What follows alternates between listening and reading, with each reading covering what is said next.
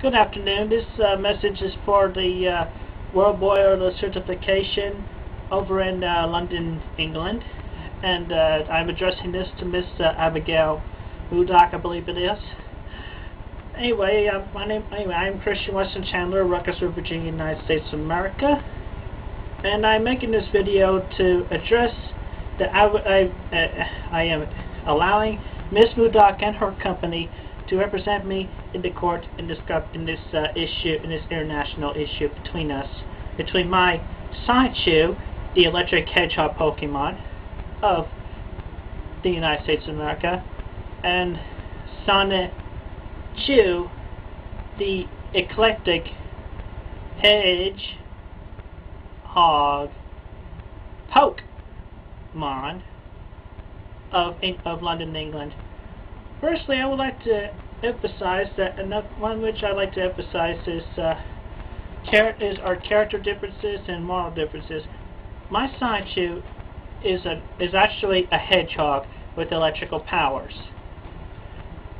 With the possible combi with the combination between uh, another hedgehog and the pink and the Pikachu, of who of which uh, I will not I will not mention right now.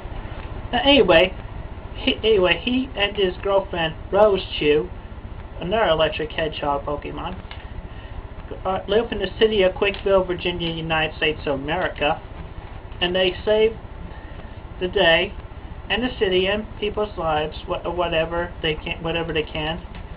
So between the original Sonic and Rose Chew, they are, they have they currently have their own family life, and they have three children. And also we have other electric hedgehog Pokemon that are around that live in, and around the city of CWCville doing the same thing. Also odd jobs and everything. And then we got uh, Mr. Blockley's Sonic Chew. We're talking about a Jamaican drug dealer here. Just and lives in some other city, possibly in London. In, in London. Anyway, eclectic high on the hedge and high on the hog. You want some of this Pokemon? Anyway, big anyway, big humongous differences, which the two are nothing similar at all. And even from the vague from the vague description I have of the uh, of Mr. Blockley's version, we're talking about he he would look something like that.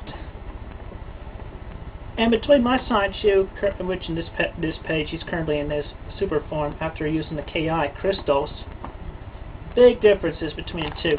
So I move that we uh, make them, allow them to coexist internationally as mine, as my Mr. Chandler's Sonichu and Mr. Blockley's Sane Chu.